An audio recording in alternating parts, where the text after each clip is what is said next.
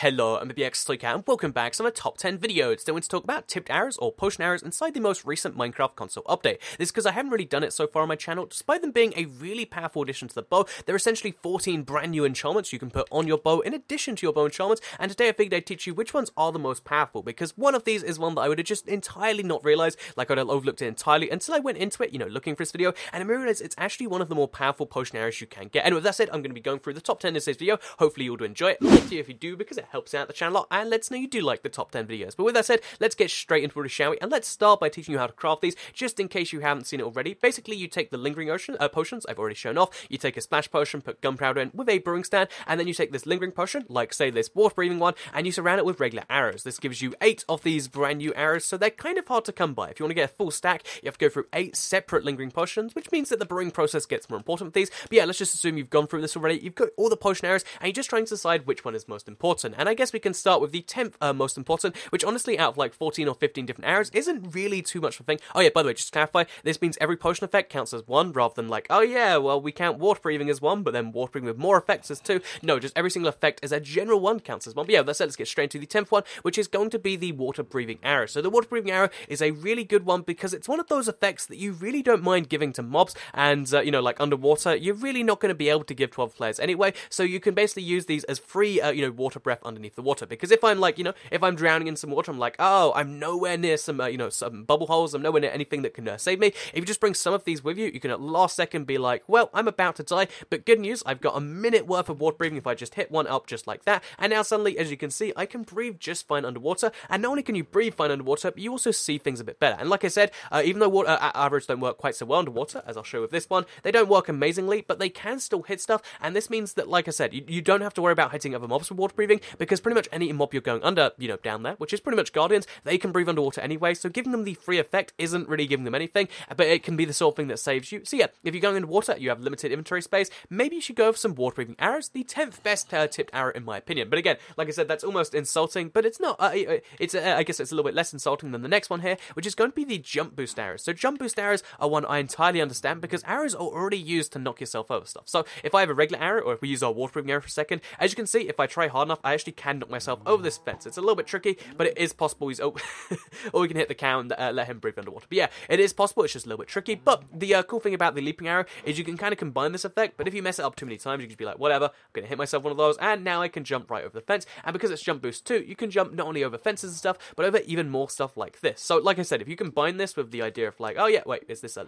it's 11 seconds by the way. But if you combine this with also hitting yourself in, in midair with one of these higher jumps, you can go to like ridiculous heights, like two and a half, three blocks, which is a pretty cool, uh, you know, thing to be able to do just using an arrow. And I think although the practical uses of this in like survival and otherworlds probably isn't too high, I think it is the sort of thing where you want to at least consider it. So yeah, the uh, jump boost arrows, they're pretty, uh, you know, they're they're pretty good. And because uh, you know, getting leaping potions is a bit easier, I'd consider having some around just in case that moment comes up. But they are only the ninth best arrow in my opinion, unlike the eighth best, uh, which is actually going to have to be uh, speed in my opinion. So yeah, the cool thing about these speed arrows is the fact that they're not really meant for you. This is the first one on this list where it's like, oh yeah, the you know, it's not just some niche survival use. This is some really good use if you're in the perfect PvP situations. Let's say me and Mega vs Prime, who by the way is a subscriber, who helped me, so big thank to him. If you're, you know, if you're like uh, with Mega vs Prime and he needs to chase after that cow really badly, let's pretend the cow is running away from him. If I hit him with a speed arrow, he's going to have 20% speed and be able to go much faster without wasting the time to drink a potion. Because right now, uh, unless you have splash potions, which most people don't, uh, realistically, if you stop to drink the potion, it doesn't really give you the right amount of time. But let's say he's running after something, uh, you know, right now he's doing that. If I can hit him with a speed arrow from here, I can give him that speed boost that he needs and let him like uh, chase towards his targets. Let's say he's uh, running towards me, but you know I'm also a teammate. Whatever, you get the point. But I can, I can give him that speed boost, and uh, as long as I'm doing it in the right direction, I can give him the arrow boost he needs, but also give him a little bit of speed, which is really nice. Again, it's it's very very very situational, but in the right situation, you can see that amazing moment where like, oh, I hit my friend with an arrow, and that allowed him to kill someone. And because you can get these in speed too, uh, I prefer speed uh, one for a minute because you know you can also hit yourself and be like, oh yeah,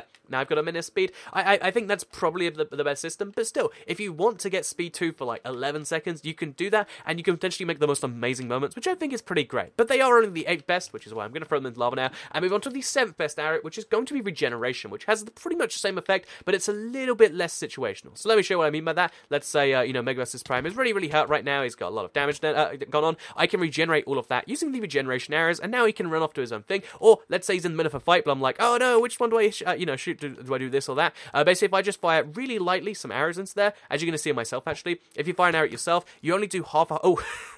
you only do half a half damage, as you're going to see. Oh, was that the wrong arrow? Uh, but yeah, uh, you, you, only do very little damage, but then, uh, you know, your regeneration lasts a little bit longer. So let me, let me show that right now, just a little bit better, hopefully. Okay, just like that. As you can see, you do half a half damage, but you get a lot more going on there too, which is pretty, uh, you know, it's, it's a pretty useful little thing. So let's move on to the next uh, uh, next best arrow, because, you know, this is number six regeneration. It's pretty good. Again, it's situational with teammates. It can also just about be used on yourself, and I think it's justifiable in that way. But let's move on to the the fifth best arrow, in my opinion, which is strength. So strength got a really bad nerf in this update, like a really, really bad nerf. But um, it's it's still like just about usable for pretty much the same reasons as the other ones. Like hit your friend with strength, he's gonna have more stuff. But realistically, it comes down to go before you have a fight because you can get these in one minute variants. Before you have any form of fight, just hit yourself with one, do the half half damage. It'll regenerate soon enough if you have good food. Uh, but then for the next whole minute, you've got a plus three, uh, you know, uh, to your uh, strength, which is a really, really decent amount, especially if you don't have enchanted weapons or if you're playing, you know, like uh, when they eventually come to battle or something like that. You've got to think like you can take this, uh, you know, this golden sword up to seven damage. You can take a diamond sword up to like ten damage, and because sharpness is kind of nerfed too, when you add that in, the the strength nerf is bad, but the fact that you can get it just by firing up at yourself very briefly before a fight,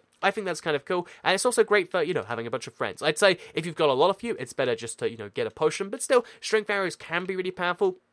And even in survival, like just before you fight the Wither or something like that, I can see these being justifiable as just an easier way to store potions. Like, this is essentially a stack of 62 potions, which, by the way, is going in the love right now because I wanted to talk about the next uh, best po- uh, potion arrow in the game, which has to be the fifth best, if I'm not mistaken at counting, uh, which is going to be the slowness arrows. So, yeah, the slowness arrows are uh, these ones right here. Uh, the, the cool thing about slowness is it's the reverse of the uh, speed effect, but the cool thing about the fact that it's like a negative effect is that one of the few negative effects means that it works on pretty much any situation. Are we in PvP, guess what? I can hit Mega versus Prime. He's not going to be able to catch up with me. Do I want to hit a mob? Well, they're all going to go away from me. And the cool thing about having these is if you are at that level in survival where you're just like, yeah, I have all the stuff I need in the world, then you might as well just make some slowness arrows because you hit a creeper with this. Oh, now your life gets easier. You hit a baby zombie. Okay, now he's not going to chase you so fast. Uh, basically, these work really well in survival as well as in, uh, you know, PvP. Like, uh, you know, PvP, giving someone that 15% slowdown is a really big deal. And given that you can just use these as your arrows, so let's just say we're having an arrow fight right now, the fact that I can just use these and eventually one will hit him, the moment one does, I can win the you know the chase on that, and that's a really cool advantage of being able to spend a lot on slowness potions to get a lot out of like you know just being able to control the engagement in a way that's pretty darn powerful. So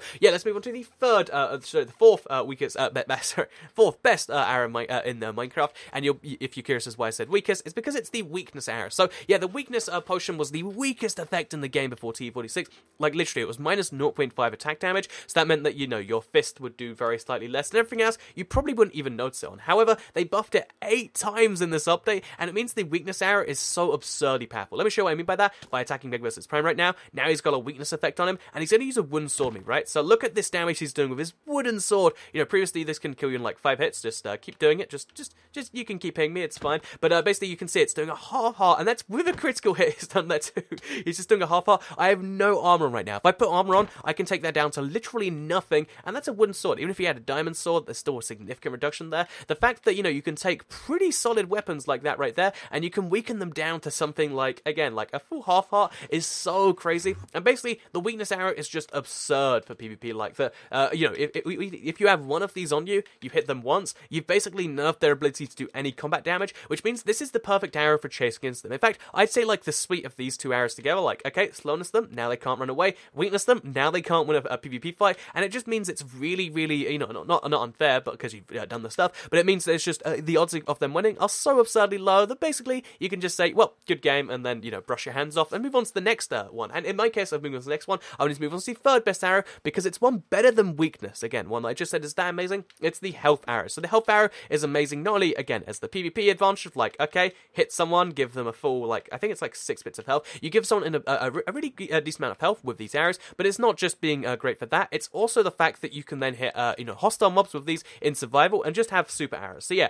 these are basically harming arrows, but for you know hostile mobs. So if we take a uh, zombie villager like that, we hit him with an arrow, as you can see, okay, just like that. As you can see, one hit kill because uh, instant health uh, has the negative effect on the wither, on uh, zombies and stuff. And if you're going to be fighting the wither, get yourself a power five bow, get yourself some of these, and suddenly you're going to be just melting him in no time. Because like I said, these are like additional effects for your bow, and this one is an effect that can help you harm uh, a bunch of mobs, and it's the best survival arrow I'd probably say if you're in that kind of market. But it's not quite as good as as the uh, second uh, best arrow in the game, in my opinion, because we're gonna have to talk about the po- uh, the arrow of poison here. So the arrow of poison is uh, pretty darn cool because uh, this is poison too. It's only two seconds, but the fact that you can poison someone with your arrow hit is amazing. So again, this is in addition to anything you can put in your bow already. If I hit him with poison right now, as you're gonna see, look at the uh, speed of damage on that. Two seconds isn't much. It's only like an extra, you know, two hearts. But the fact that you can, you know, add that extra poison, which by the way goes right through armor. When you attack someone with poison, you know, there's no regenerating from that. The fact that that happens is so absurd, and you can get 11 seconds off this on your main po- uh, poison arrow, which is really, really good, just in addition to what you're doing. But like I said, I don't think it's quite as good as the very best arrow in the game. What is the best arrow? You can pretty work out already. It's the harming arrow. So the harming arrow, or the instant damage arrow, is just so, so, so absurd, because instant damage, I believe, if I'm not mistaken, it's like six. It, it might be three. Okay, no, it's six. as you can see, right that that was a, uh, you know, if I fire a normal arrow like that, I'm going to do a full half heart myself. So let me show you right now. Okay, gonna do half heart and then I regenerate a bunch. But uh, the, this does six, uh, you know, hearts of damage in addition to what the arrow itself does. And the crazy thing about the instant damage arrow is the fact that uh, okay, so let me show what I mean by hit, uh, this. I'm gonna hit him twice, and he's probably gonna die with, with even the weakest of arrows. As you can see, dead and there's no death message, but still, he's dead with just two arrows because, and that's with uh, very weak stuff because it does that six hearts. And bear in mind, this will work on anyone whether they have armor or not because instant damage is a magic effect. Uh, you know, it would, if if we could see his death message, it would say like Megaversus Prime was killed by you know, magic because that is a magic effect, which means it goes right through armor. The fact, uh, you know, six hearts of unconditional damage is so absurd, and there's a reason these are never going to show up in PvP, uh, you know, in the battle mode, I should say, because they are just that good. I don't know where he is. I think I have to teleport him to me, so let's uh, let's do that right now. Let's let him do the same to me, just to show what this happens. He's going to do a really weak arrow, and oh, look at that, halfway down, and now I'm just done, already over in two hits, uh, just like that. And in fact, let me let me uh, make this happen again. Uh, so oh, I, I, guess he spawned up here and he couldn't get down. But uh, uh, let, let, me put on some armor just to kind of show this one because it is really, really crazy how that works. Let's put on some, uh, you know, like let's let's put some leggings and something like that. Uh, and now we're gonna hit ourselves one of these arrows. And as you're gonna see, it goes right through even diamond armor. And uh, yeah, instant damage. So absurd for that. Also absurd for mobs. You know, same thing. Okay, not for zombies, but if we take like a pig or something, or like you know any uh, non-undead mob, they're gonna die in the same amount of stuff. Like let's hit those, let's hit those cows over there, for instance. Okay, let's let's do this. Okay, wait. you get. I'm, I'm, sure you can all realize that Council in one hit. This is. Uh, they're basically the most powerful arrow in the game by such a large amount that I don't get how they're even fair. Like I said, you combine this with a Power 5 bow and you're one hitting pretty much everyone in the game. And uh, if that's a thing that sounds fun to you, then uh, the the potion, the, the arrow of harming pretty darn good as it turns out. So yeah, I hope you did all enjoy this video. One more thank you to Megaversus Prime for coming and helping me out and uh, riding the villagers to safety apparently. Uh, like it if you did like it because it helps out the channel a lot and let's know you do like the, uh, again, the top 10 videos. Share them if you liked it and subscribe if you're new around here because I make videos like this one every single day on my channel and if you subscribe you'll see them daily on your homepage. Thank you all very much for watching uh, this uh, video um, and uh, I guess I will see you all next time. Goodbye.